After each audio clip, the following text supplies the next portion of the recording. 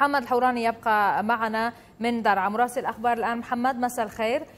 نتحدث إذا عن هجوم لقوات الأسد رغم الهدنة. تحدثت عنها أمس. كنا نتحدث معك أمس عن هدنة ارتاح لها الناس وكانت حقيقية على الأقل الأمس والنازحين من السويداء إلى درعا. كلمة لك. آه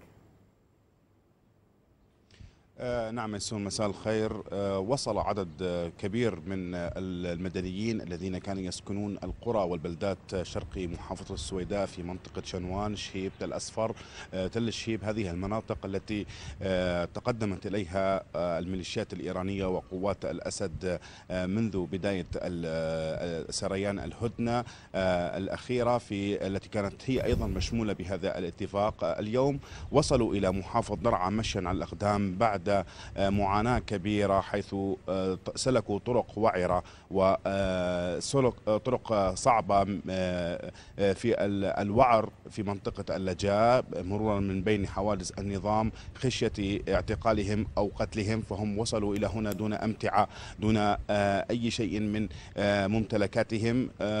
قدر عددهم بقرابة السبعين عائلة حتى هذه اللحظة حسب ما حسب الذين قابلتهم. الأمس في ريف درعا الشرقي. أين هم؟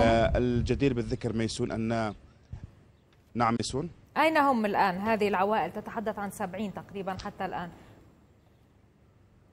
آه تم تأمين بعض الخيام وبعض آه الأماكن لهم في ريف درعا الشرقي في منطقة بصرة الشام في آه منطقة بلدة المسيفرة في بلدة السهوة في بلدة كحيل. هناك المنظمات المحلية ونشطاء المحليين وبعض الفصائل العسكرية قامت باستقبالهم وتجهيز بعض الخيم بالإمكانيات المتوفرة حتى يتم تأمينهم بشكل بشكل أكثر في الأيام القادمة. الجدير بالذكر ميسون أن هذه أن هؤلاء العوائل تحدثوا إلي عن هناك الكثير منهم ما زال مجهول المصير. هناك من نزح إلى منطقة الحماد وهي هذه المنطقة معروفة بالصحراء الخالية في منطقة البادية الشامية.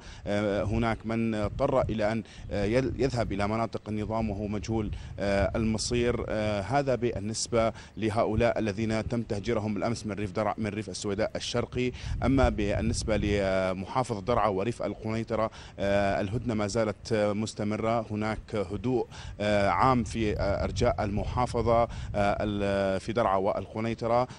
تخللها بعض الخروقات في عدة مواقع ولا سيما أحياء درعا عفوا. صح احياء درعا البلد التي سقطت سقط أسقطت قوات النظام فيها بعض القذائف الهاون وهناك أيضا تسجيل خرق لقوات النظام في منطقة الحمدانية في ريف القنيطرة حيث قامت قوات الاسد أيضا بقصف منطقة الحمدانية بقذائف المدفعية. الجدير بالذكر ميسون أن المعارضة قد أخبرتنا أن هناك انسحابات من قبل ميليشيات إيرانية وميليشيات طائفية من درعا إلى مناطق أخرى بعيدة عن خطوط الاشتباك التي كانت تتمركز فيها سابقا ضمن معركة الموت ولا المذلة وهنا بالتحديد حي المنشية وأيضا من جهة جبهة المخيم درعا ومن جهة نعيمة.